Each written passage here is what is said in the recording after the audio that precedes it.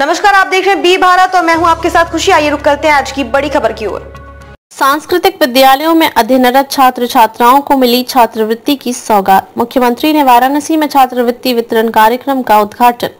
विकास भवन सभागार में मुख्यमंत्री के कार्यक्रम का हुआ सजीव प्रसारण।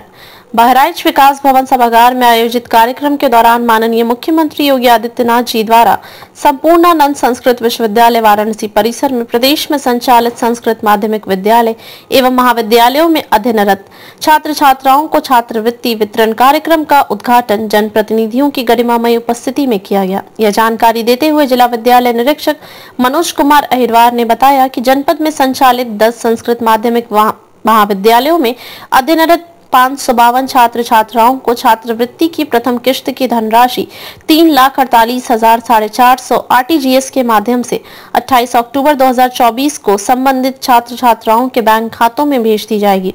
विकास भवन सभागार में आयोजित कार्यक्रम में सदर विधायक श्रीमती अनुपमा जायसवाल के प्रतिनिधि अशोक जायसवाल, विधायक बल्हा श्रीमती सरोज सोनकर के प्रतिनिधि आलोक जिंदल, मुख्य विकास अधिकारी मुकेश चंद्र व अन्य अधिकारी वैद भगवानी दान मिश्र, गांधी इंटर कॉलेज के प्रधान प्रधानाचार्य जसवंत सिंह तथा संस्कृत माध्यमिक विद्यालयों के प्रधानाचार्य एवं अध्यापक तथा बड़ी संख्या में छात्र छात्राएँ मौजूद रहीं। अब तक के लिए बस इतना ही। फिर होगी आपसे मुलाकात। ऐसी एक और बड़ी खबर के साथ। तब तक के लिए नमस्कार और देखते रहिए बी भारत। ऐसे लेटेस्ट अपडेट्स के लिए हमारे चैनल बी भारत को सब्सक्राइब करें और तुरंत नोटिफिकेशन पाने के लिए बेल आइकन प्रेस करना ना भूलें। यदि आप हमें फेसबुक के माध्यम से देख रहे हैं तो हमारे पेज को फॉलो ज़रूर करें। धन्यवाद।